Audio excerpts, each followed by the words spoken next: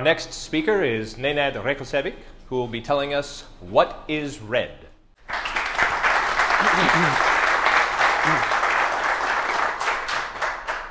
Thanks, uh, Greg, and uh, thanks to all the people that uh, donated to pay uh, the cost for my trip so I could uh, make it.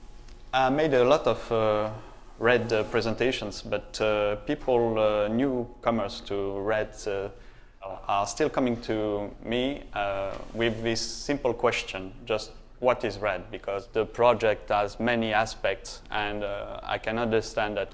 So I'll try in this presentation to give you a good uh, view of every uh, part of the project.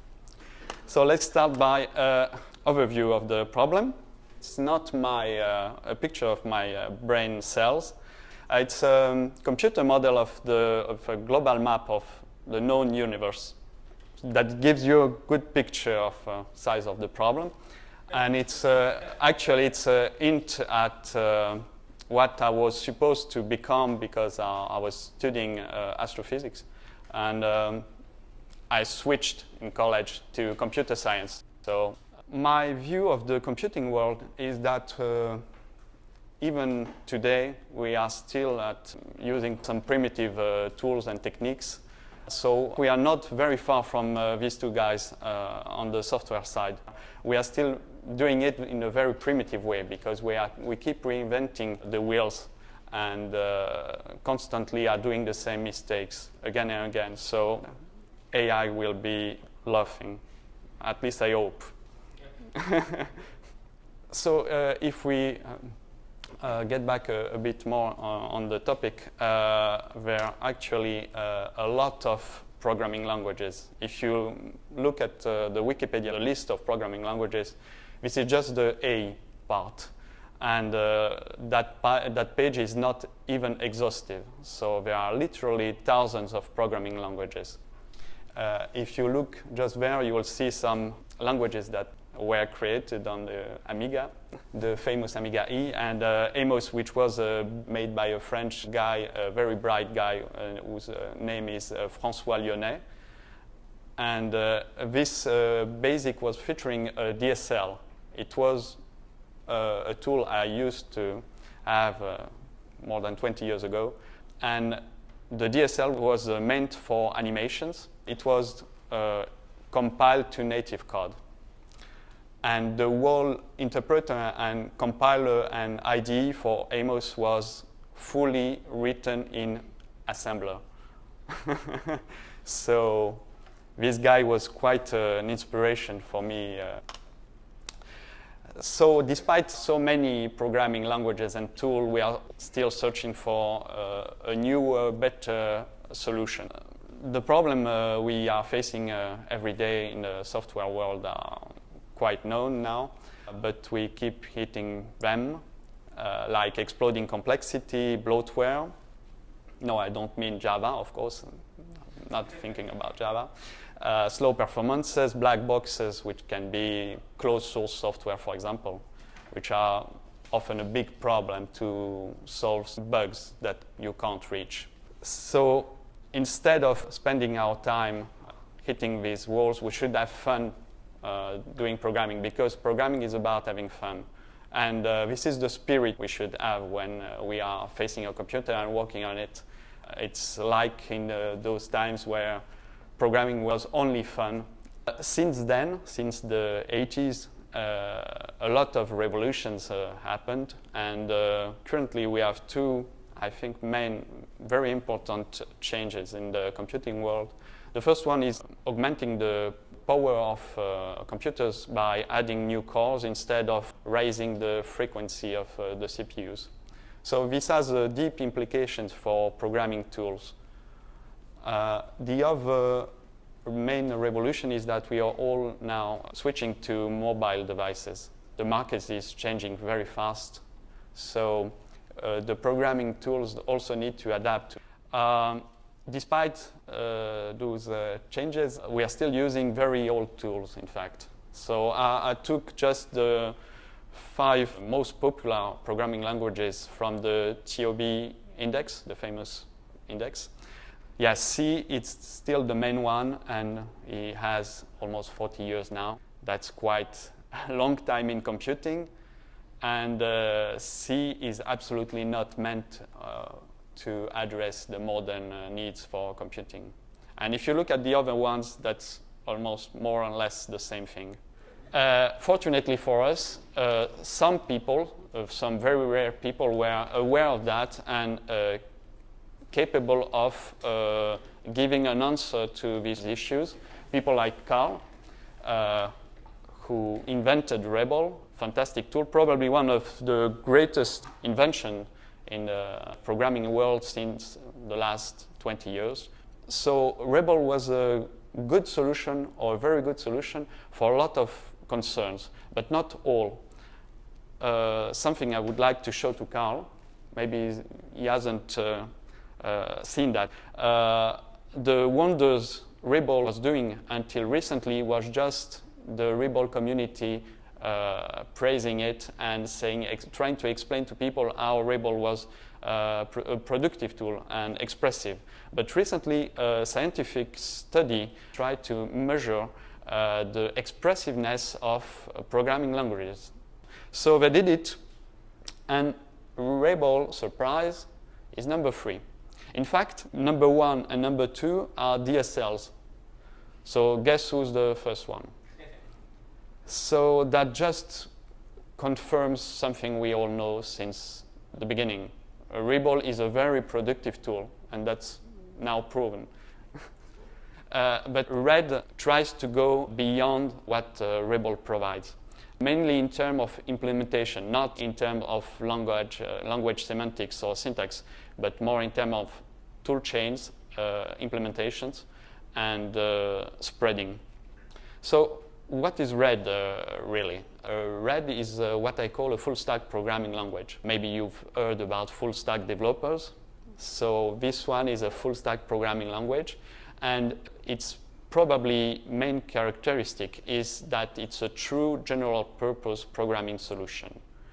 There are many languages that uh, um, advertise as general purpose, but they are not as broad as uh, Red can be. The other great uh, uh, characteristic about Red is that it's a standalone toolchain, so we are not depending on the standard classic C uh, toolchain. We have our own one. Another aspect, uh, important aspect of uh, Red is it's about freedom. Since the beginning, my motivation for Red was to get free of any kind of restriction, of any kind of limits. So um, I want users of Red to feel the same.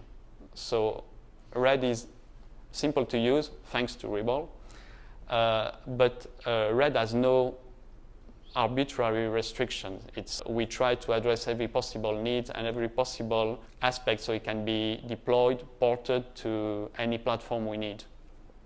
And also something very important in programming, you need to be in, in feeling in control of your tool. Often you use some tools that can be powerful, but you don't control them because you don't understand what's happening inside, often because they are black boxes or because they are sitting on a big pile of layers, of software layers, so you can't just know or understand what's happening inside. And important last thing is the fun. Yeah, we want the fun back. And uh, some people that uh, tried to use Red or Red system after compiling and running uh, successfully their pro first program, came back to me and said, it's great because it's fun, just try it and it worked and it was great. And people get that feeling, of what I was uh, talking about in the, the, the feeling from the 80s, where you feel really in control of your programming tool. So I'll try to explain what I mean by full stack programming language and uh, true, true general purpose programming language. So I made this uh, chart, the main scope of application for a few of the main programming languages. For example, uh, assembler is um, drivers and very low level. Uh, you can see that Java is really limited in ability to uh, address some different abstraction level. Ruby is quite wide. Maybe uh, it doesn't go down to the OS. I don't know if Ruby interface for calling OS API is really uh, good or not. Rebol has quite a wide scope. Rascal is a very specific programming language, it's a kind of DSL, uh, which is meant for writing over DSLs. So it's standing at the meta DSL level. So where is uh, red on that scale? Well, red is aiming at addressing all needs from bottom to the top. Because I don't want to have to rely on, another tool. I want red, so this programming language to be able to address all the needs without relying on something else. So uh, you'll tell me that it's quite impossible to make a language that address such a wide uh, um, uh, scope, and uh, you'll be right. But Red has a trump card. Uh, and a Red system uh, um, covers the low layers, and Red covers the upper layers, and they are all integrated together and working together. So Red system, in fact, is a, dialect of Red that you can use separately or directly embedded totally in red. So let's have a look on the platforms that we support. First on the desktop, we support the classic three main players. Uh, we also support some uh, additional uh, operating system like Syllable. We would like to support FreeBSD, but uh, we had some low-level issues and no FreeBSD expert among uh, us to solve them. So for now it's a bit stalled, but uh, we could probably uh, get red ported on FreeBSD rapidly. Then we also want to address the embedded market, starting with Android that we already support. Uh, next one will be iOS. And we already run on uh, Raspberry Pi, which is uh, becoming quite popular. And I guess Bo will do some demonstration maybe tomorrow on uh, we also have um, an experimental port on uh, Arduino's board. Uh, we started with AVR 8-bit, but it's the experiment for now because other boards are coming, uh, like 32-bit boards or the Raspberry Pi, so the 8-bit uh, supporting may be not the thing to do now. Uh, we also want to support virtual machines we want to be able to connect to .NET, to the JVM, and to JavaScript. There are basically two methods to achieve that. We can either bridge, keeping red uh, like it is now, and bridging with uh, these uh, virtual machines, or we can uh, develop a backend, a new backend for uh, RED and RED system to be able to compile directly to the bytecode of these virtual machines. So we have those two options. Uh, we started by making some uh, bridge for JVM. We'll try to choose each, each time the right solution, the best one for the right job. So probably we are bridging with the JVM, but we will probably compile for JavaScript directly. And with uh, uh, asm.js now, we have a really interesting uh, uh platform to support, and uh, I expect it, uh, Red and Red System, to run quite fast on that. More practically, just an overview how it works. So you have Red, one binary, you just download, and you get all these features. So you can run a script, a red script directly uh, from memory. You can compile it to uh, an executable. You can cross-compile it. We'll get uh, back to that feature.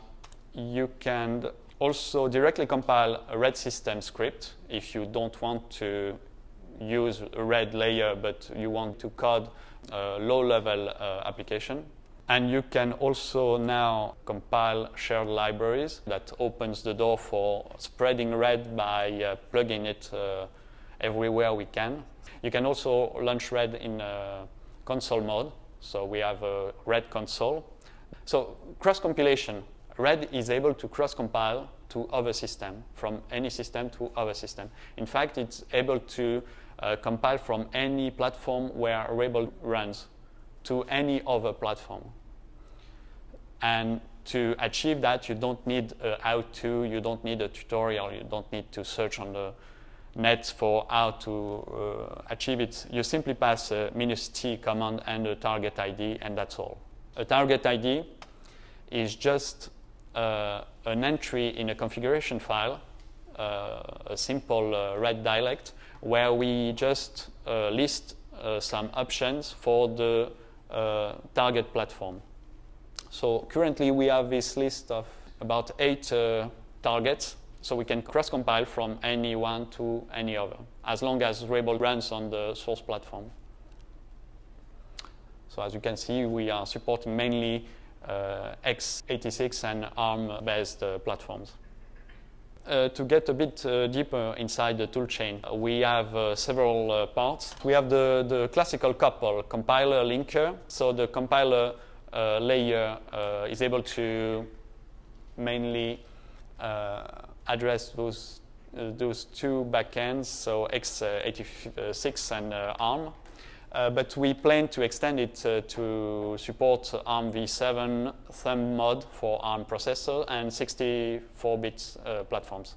We also will add the virtual machines backends so JavaScript, uh, JVM bytecode, DEX for Dalvik as an alternative for JVM on the Android platform, and MSIL stands for the uh, bytecode name for .NET platform.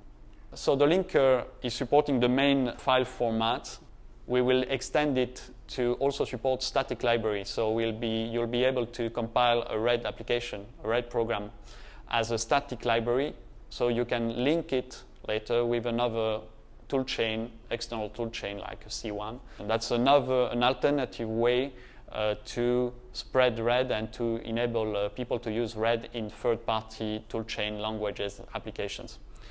And we also go uh, down to the kernel level and uh, we will provide uh, support for building kernel drivers or even uh, operating full operating system directly from RED.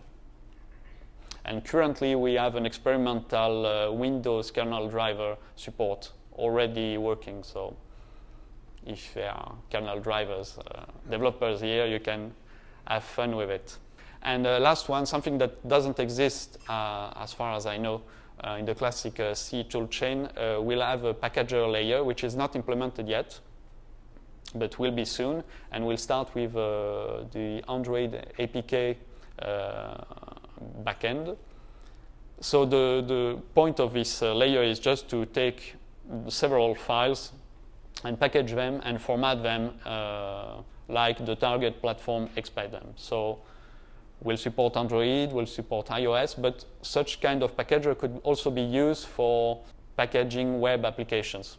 So like Java does for the WAR format, which has a very interesting uh, abilities like uh, simplifying the deployment of web applications and be able to version them or roll back uh, deployment, which is a great things to have. Another aspect of the toolchain is that the, currently the toolchain is bootstrapped in Rebol 2. Uh, we are running already two years uh, on that, but the final uh, picture, the final red should uh, have a JIT compiler. And to have that JIT compiler, we need to go self-hosted. So we need to have red written in red. That's the only way to get a, a proper JIT compiler. So we'll most probably uh, work on that in next year.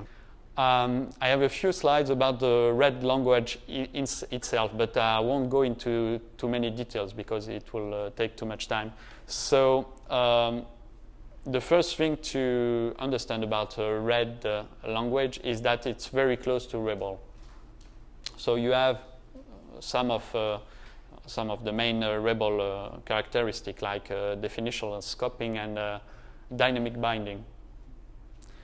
You also have the ability to program in red using whatever paradigm you want. So paradigm neutral is an expression from Gabriele uh, and I like it very much because it expresses really well uh, this ability uh, to not be uh, bound by a specific paradigm. Uh, a difference uh, between red and Rebol is that in red you can optionally type uh, local variables, and uh, you can uh, also type the return value for uh, functions. So in uh, Rebol, it doesn't um, have much meaning because it's an interpreter, and it, can't, it has no value for it. But for a compiler, it has a great value because uh, annotating uh, those uh, types in the function uh, allows the compiler to uh, generate a much more specialized code, so a much faster, much efficient uh, code than without the annotations. So red is optionally typed. So you can type it or not. It depends on your needs or your, the way you program. So you can do it in the Rebol way, which will be very flexible but you will end up with uh, slower performances. Or you can do it in the static way, where you type everything, and the compiler will be able to do more type checking, so you will get some uh, warning or some error directly at the compiler time instead of getting them at the runtime. Also, when you're using the, uh, if you're not using the uh, type annotations, uh, the compiler will be able in some cases, to do some type inference. So it will be able to guess the types for you. But as Red, like Rebol, is very, uh, very dynamic language, the extent uh, to which you, the, the uh, inference engine can, uh, engine can uh, guess those types is quite limited. So, well, it will be a, a little help, but not a big one. Uh, we, of course, have Unicode support.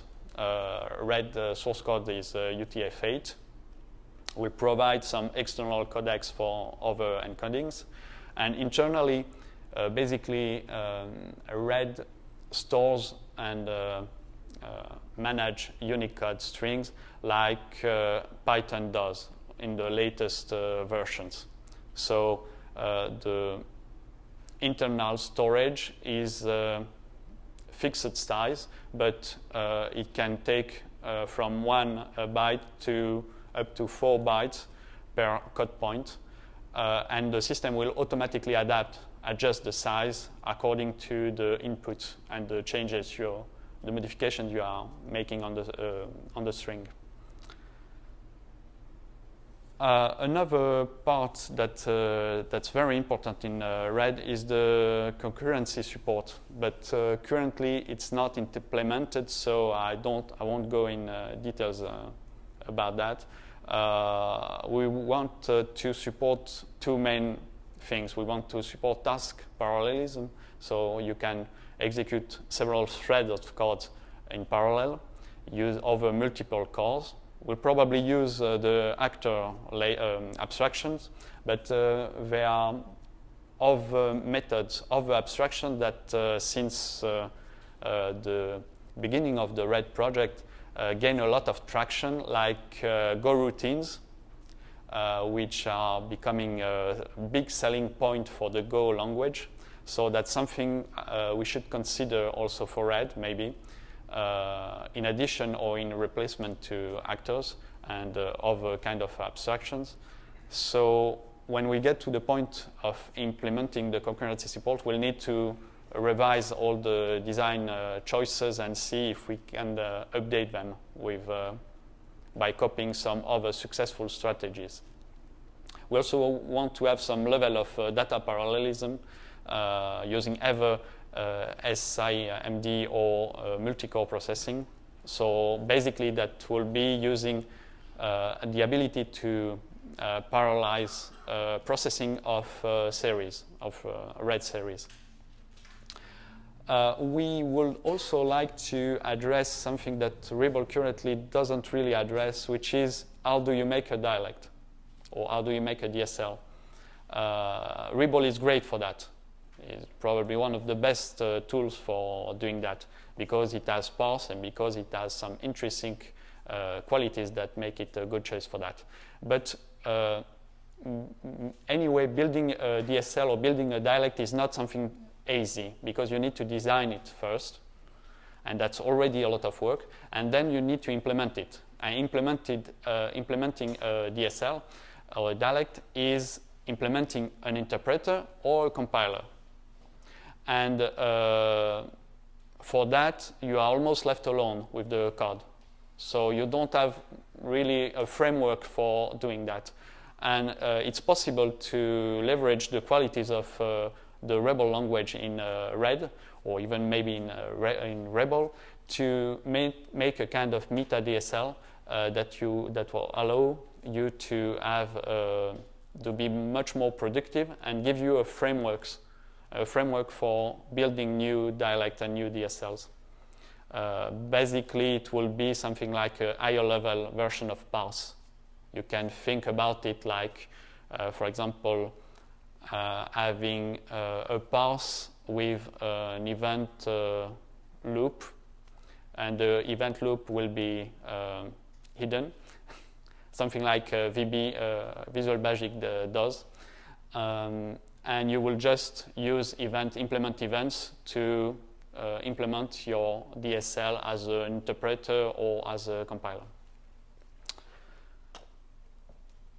So uh, RED, uh, what does the RED compiler do? Uh, the RED compiler converts uh, RED code into RED system, which is the uh, lower level layer. I just wanted to show you how it looks like. Um, so if we take a very simple expression, a red expression, uh, the red compiler parse it and use a stack uh, abstraction to put the arguments. In, in fact, it uses it use, uh, two stacks, one for calls and one for arguments. And then uh, the, the emitter will uh, produce red system code based on that. So what you see on the right, uh, right side is the, uh, the red system output for that expression calling the red uh, runtime API. Another uh, singular aspect of uh, the red compiler and the red language is that it combines several kind of uh, approaches, which is something I've quite unique, I think. Uh, so basically you have a static compiler. That static compiler will generate code with an interpreter inside and tomorrow a JIT compiler embedded inside your executable. And uh, all these three parts will be able to uh, work together in a very um, collaborative way. So for example, uh, the compiler code uh, can call the internal interpreter, which itself can call back the compiler code. And same thing for the JIT compiler. It's a bit abstract, but uh, uh, I can show you at the end of presentation a slide to a practical case of such uh, approach. And in fact, such kind of approach um, is a very powerful tool to solve uh, very complex semantic uh, um, cases. For example, compiling a symbolic uh, code, which is something quite difficult to achieve. But if you combine different approaches, you can uh, find a very efficient solution.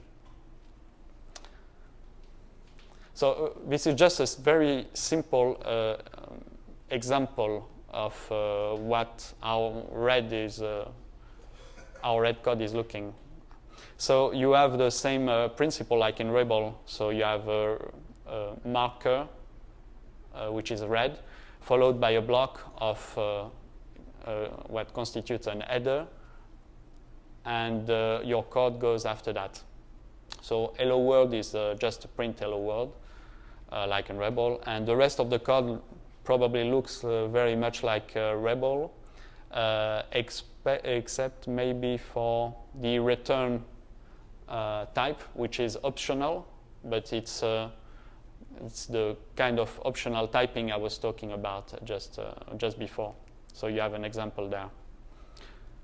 So you are not, uh, it's not mandatory to put it, but if you put it, the compiler will generate better, faster code. So just a, a a bit more detailed view of uh, the internals of uh, red and the different parts so you get a better picture of how all those uh, uh, elements are related.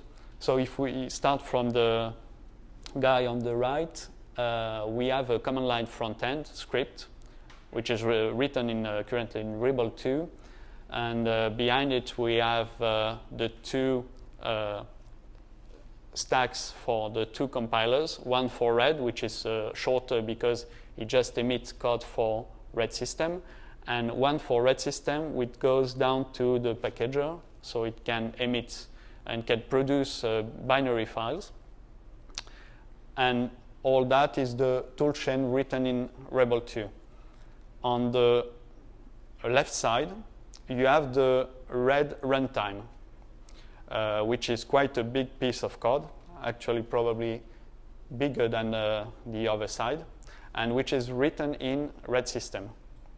So you'll find all the real power on that side. For example, all the data types, um, all the native, the mezzanine code, the interpreter, the bridges, like the Java one, which is already uh, available, uh, the memory manager, and the interfaces, the low-level interfaces to uh, the underlying uh, pieces.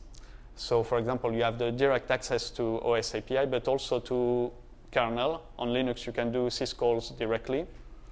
And uh, if necessary, you can go even down to the hardware and directly call very low-level uh, features. Ah, maybe I just missed the red console also. Yeah, which is uh, written in uh, red and red system for the low-level parts. About red system, I have a, a small presentation tomorrow uh, specifically on red system because it's a kind of a new thing uh, in red compared to Rebol. Uh, so I have just a slide about red system to give you just an overview. Uh, so basically it's just a, a kind of C-level language, but with a red syntax. So it often feels like coding in red, but with uh, very low-level uh, data types and uh, uh actions. So it's statically compiled. It's currently not optimized at all, but it's only four times slower than optimized C, compiled with um, minus 02. So it's quite good. Actually, it's very good because once we add the optimization layers, we'll be very, very close to C. We probably won't beat it. That's not the, the, the goal, but we'll be very, very close. So red system will be a really viable alternative to C. And it's already, already does wonders in some image processing, for example, that Bo will show you tomorrow. Uh, something that uh, C language doesn't have, or most of uh, very low-level language doesn't have. Uh, Red System has uh, namespaces, which are something like context in Rebol, but very um, static. So we are using context keyword to declare them also in Red System. And you can use also the with keyword to uh, put some part of your code inside the context to declare it, something like you have in other programming languages. Uh, we have a very limited tips type system in, uh, in Red System. Uh, we have six, uh, seven, eight, nine uh, types. So basically the same data types as uh, C. the function is data type is not a fully first-class data type. I've uh, hesitated a lot about that because uh, if I make it a fully first-class data type, people will start asking for making Red System a functional language, which is not, which is possible, but it's not the goal. Uh, it doesn't serve any purpose, so I'm quite uh, reluctant to add uh, new features on the, that data type. Uh, we have a type inference, so you don't have to specify the data type for local variables. The compiler will guess it. Uh, we have also uh, limited the typecasting uh, between uh, compatible uh, data types. And we have something the C language uh, doesn't have, but C++ has, which is some level of reflections. So you can declare some function in red system uh, with uh, a variable number of arguments. You put brackets around them, and inside the body of that function, you can work through that list of arguments, and you can query the type of each argument. So that's quite a powerful feature, and uh, actually, Kaj, uh, Kaj de Vos, uh, used it to build uh, dialects, VID-like dialect in red system, which is quite a fit because uh, we don't have symbol in red systems. So it, it looks like VID, but it's using that uh, feature to, to run it. And it's quite, it's really great. Uh, we also have a preprocessor in a red system, but uh, I would like to drop it in the next uh, major release uh, because uh, that's um, it, we have more problem with that than uh, than more issues than than advantages. so we'll keep a few of them, but we need to, to rethink it and re redesign it. The define is very powerful uh, option because it gives you almost the same power as C macros. So you can even use parameters. Uh, we also have and want to have some low-level uh, CPU support. Uh, currently, we have some access to some of uh, CPU register in a cross-platform way. Uh, we have access to the stack. You can manipulate the stack, the native stack at red system level in a cross-platform way. Uh, and we will add uh, support for interruption IOs and other uh, very basic CPU features. Uh, maybe we'll add some uh, ISM assembler support, inline ISM, but it's not uh, currently a, a, big need. A few metrics about RED project. So it's a BSD for the most part of the code base. And the runtime parts of uh, RED are BSL, which is the Boost software license, uh, which is uh, even more liberal than BSD. So you have even less restriction than BSD. Uh, we are on GitHub since the beginning. We have uh, nine committers. I think it's a wrong number. It's 11 committers now yeah, we have more than uh, 2,000 uh, commits without counting merge uh, commits. Uh, we have about 500 tickets in the bug tracker, but they are almost all closed. We try to get them closed as fast as possible to avoid peeling them up because once they peel up, you almost never get them uh, processed. So we, we really need to keep that uh, very, uh, very low. Uh, we have a lot of unit tests with, uh, which are built by uh, Peter Wood, which has done, who has done a great work on that. It's very, very helpful.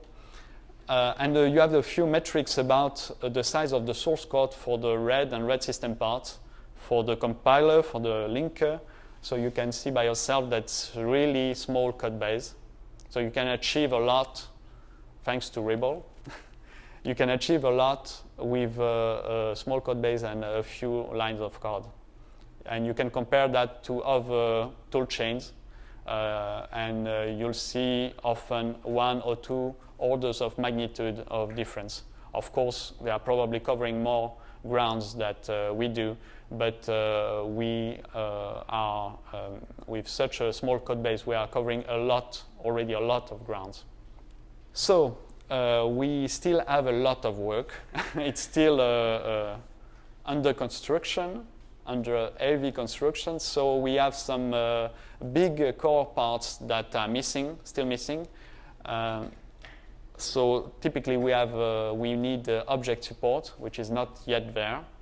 Uh, we don't have proper error handling yet because we need object for that.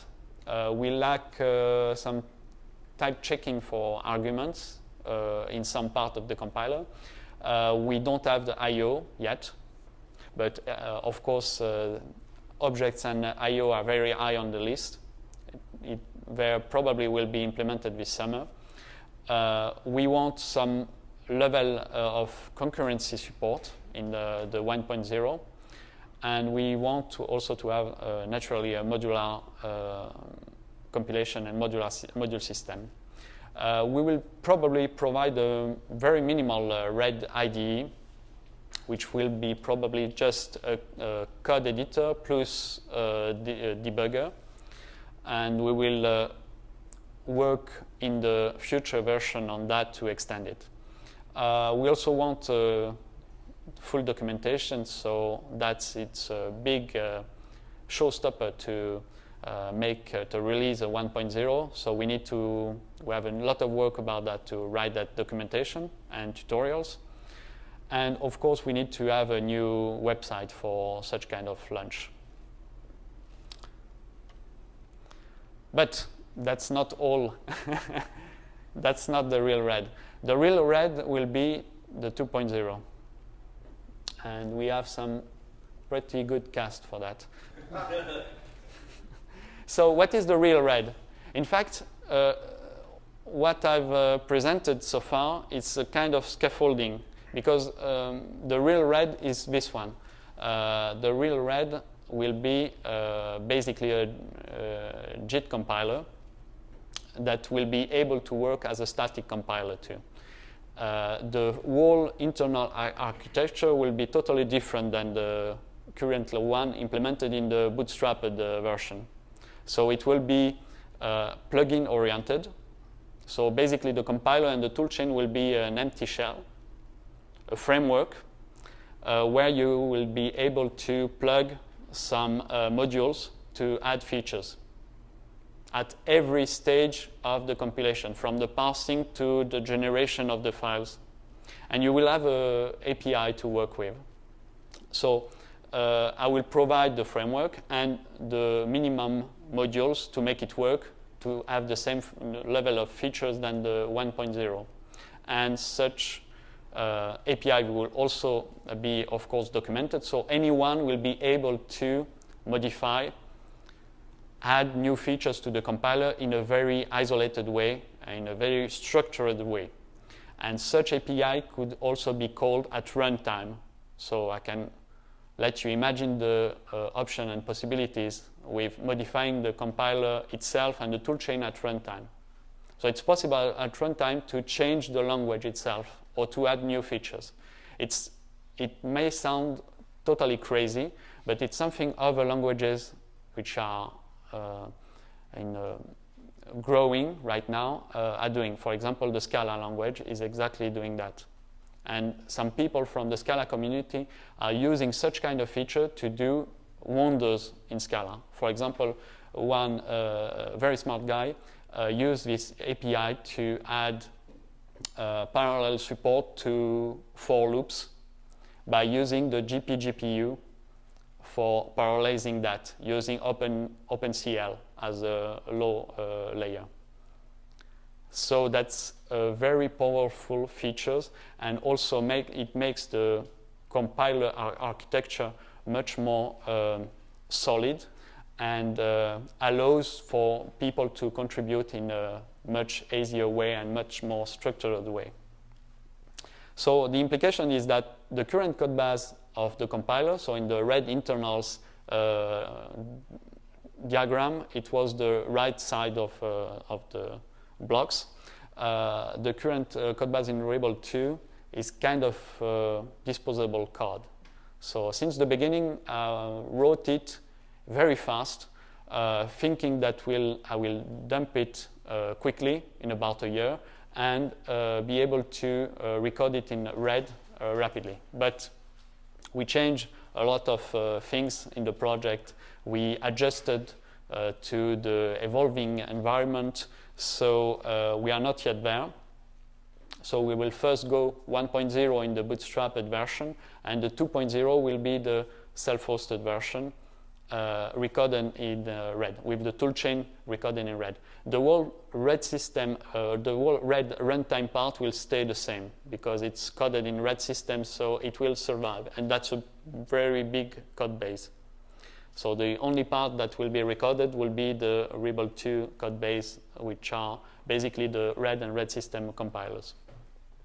Uh, just a few words about the project organization. We have uh, uh, two uh, collaborators in, on uh, GitHub, which mean uh, two, one uh, admin and two other people that have uh, admin rights.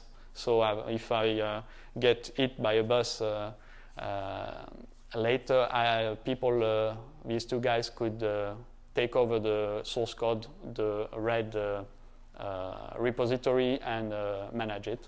Uh, we have uh, about 11 uh, contributors to the code base since the beginning. We have a mailing list, we have a Facebook page, we have an IRC channel with a nice IRC bot from Andreas for reporting commits. And of course, we are seeking for other people who are interested in uh, contributing, participating in, participating in uh, every way, because uh, that's quite a big project and we need a lot of uh, helping hands. Uh, last but not least, uh, this project um, I've invested since I've started about two years and a half ago. Every last cent, cent of saving I had. Uh, so I'm really believing uh, totally in uh, that project and the success of that project. But I run out of money quite quickly. and uh, since a year, I'm living only on the donations that users and followers are sending to me. So I want to thank them a lot because I won't be there uh, without them, and Red won't be uh, at that stage and uh, won't be existing probably if uh, people were not supporting me. So thanks a lot, and uh, we need to continue to support it to make it a reality. Thank you all for listening.